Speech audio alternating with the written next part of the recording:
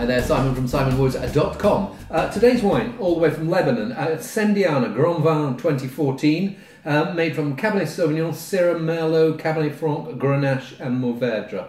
Uh, weighing in at 13.5% alcohol. It's um, the Bekaa Valley where this comes from. It's um, it should be quite warm, but they're they're at high altitude. So I think it said on the back here, vineyards between 900 and 1200 meters. So that will um, the, the, the, the southerly the southern um, latitude will will make make sure that there, there there's a lot of sun. The high altitude will mean that there's cool nights to keep everything nice and fresh.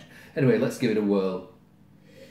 So yes, it's quite. It smells quite. Um, it's quite exotic. There's um, uh, these juicy, slightly spicy, uh, certainly oaky character, um, and a little edge of smokiness. Some of those grapes are making their presence louder than others. There's a plummy berry character, which I imagine comes from the Cabernet and the Merlot, and uh, there's these exotic edges as well. I suppose my concern is whether that that slight smokiness uh, from, which I think is going to be from oak, is going to be too much for the rest of the wine. Let's taste it.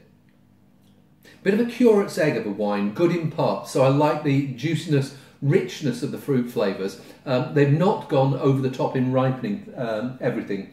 I almost, there's almost a bit of me that thinks I, I, they could probably ripen some of the, those grapes a little bit more, and, because uh, there's a, the, the tannins that I'm left with are on that slightly edgy green character, uh, green edge. Um, and then when the flavour I'm left with, it's got that it's got that smoky vanilla edge to it, as if there were barrels there that have been charred maybe just a little bit too much.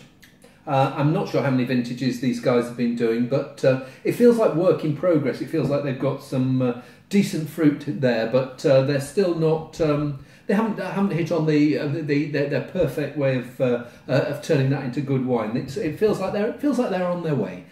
so um, good uh, but not great yet. Uh, so I'll keep an eye on what they're doing in the future, and uh, I'll see you soon.